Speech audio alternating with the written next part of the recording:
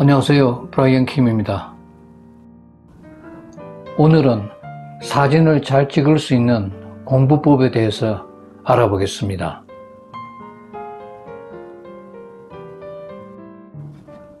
지금부터 보이는 사진들은 제가 촬영한 사진들인데 여러분들도 이런 다양한 사진을 잘 찍고 싶은 생각이 많이 들 겁니다.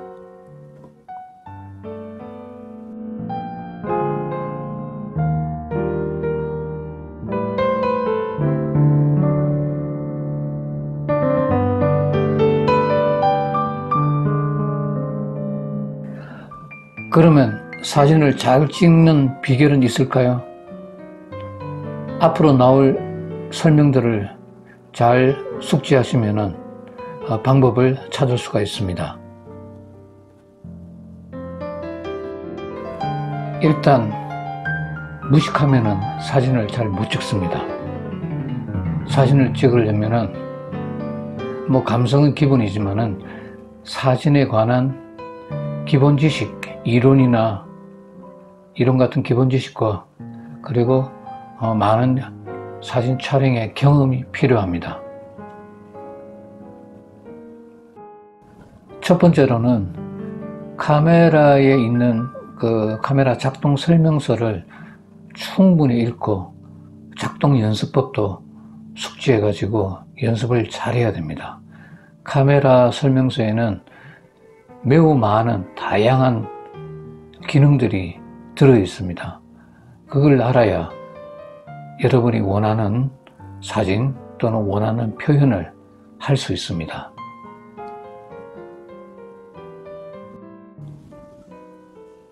사진에 관한 기초 이론이 무장되어 있어야 합니다. 기초 지식이 없이 그냥 찍는다고 사진이 되는 건 아닙니다. 뭐 구도, 색감, 뭐 빛이, 빛에 관한 거 등등 그 사진에 관한 기초 이론을 충분히 숙지하고 많이 아는 만큼 좋은 사진을 만들 수 있는 튼튼한 기초 체력이 됩니다.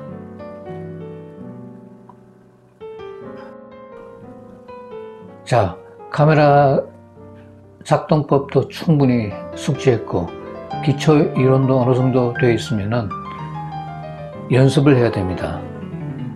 막상 뭐 출사지 나가서 그냥 하는 것은 가성비가 안 좋기 때문에 집안에서 집안 소품들 뭐 책이든 꽃이든 아니면은 집안의 물품들을 가지고 어 이리저리 연습을 어 제법 해야 됩니다. 그래서 초점이라든지 초점을 맞추는 거, 초점 이동하는 거, 그 다음에 뭐 구도라든지 또는 뭐 밝기라든지 여러 가지를 이게 어 실내 연습을 꼭 해야 됩니다. 자, 실내 연습이 끝났으면은 이제 어, 실전으로 들어가서 뭐 내가 풍경을 원한다면은 풍경 사진식으로 밖에 또는 뭐 꽃을 좋아하면은 뭐 꽃밭에서 꽃을 찍든지 인물을 찍든지 또는 뭐 별을 찍든지 야경을 찍든지 다양하게 실전 경험을 계속 쌓기 바랍니다. 처음에는 뭐 실패가 많은데 그게 실패를 분석하고 다시 또 도전하고 다시 또 분석해보고 그래서 많은 실패가 좋은 사진의 밑거름이 됩니다. 실패를 두려워해서는 안 됩니다.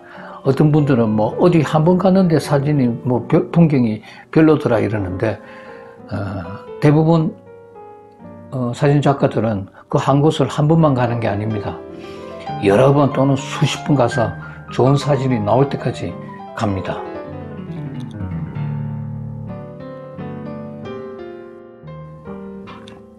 자, 이제 이론도 공부했고, 작방 법도 이제 마스터했고, 또 연습도 했고, 실전 경험을 쌓았으니까 사진 실력이 부쩍 올라갔을 겁니다.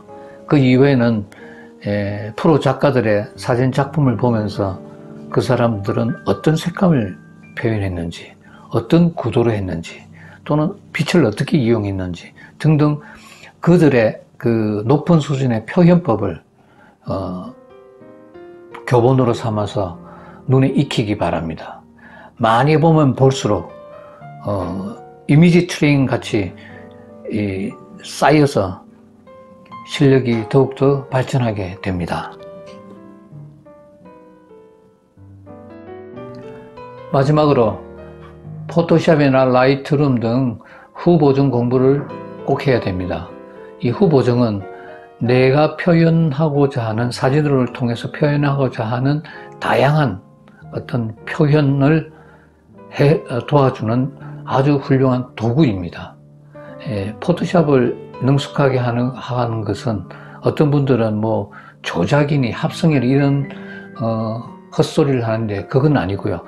내가 표현할 수 있는 어떤 같은 장소에서 10명이 100명이 찍더라도 나만의 표현을 할 수 있는 표현을 잘하도록 도와주는 툴입니다. 자, 앞서의 그 기초 이론부터 실전 연습, 그 다음에 프로 작가의 작품을 공부하고 포토샵도 하고 이러면은 일치월장한 사진 실력이 돼서 사진 활동이 상당히 즐거워집니다.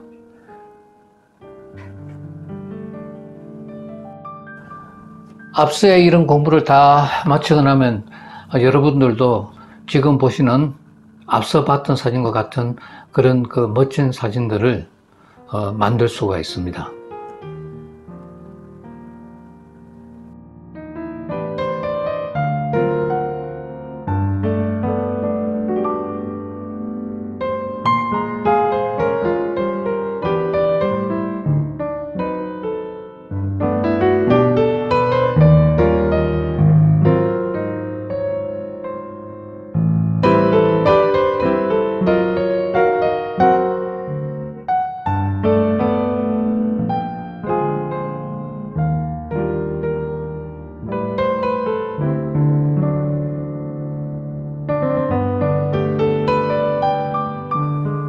앞서에 설명한 사진을 잘 찍는 공부법에 대해서 요약을 하면은 먼저 카메라 설명서를 충분히 읽고 작동법도 잘 숙지하고 난 뒤에 사진 기초 이론서를 어, 정독하고 머릿속에 넣어 놔야 됩니다. 그리고 집안에서 연습을 해보고 충분히 익힌 뒤에 뭐 야외 출사를 나가서 실전 경험을 실패를 많이 해보고 또 성공도 하면서 실전 경험을 많이 쌓기 바랍니다. 그리고 나서 그 프로 작가들의 작품을 통해 색감이나 구도나 비철이나 여러 가지 다양한 표현법을 어, 익혀 놓으시기 바랍니다. 그리고 나만의 표현법을 위해서 후보종 공부를 또 어, 많이 하면 더욱 좋습니다. 사진에 관해 더 궁금한 내용이 있으면 아래 이메일이나 SNS 메신저로 연락 주시면 어, 답변 드리겠습니다.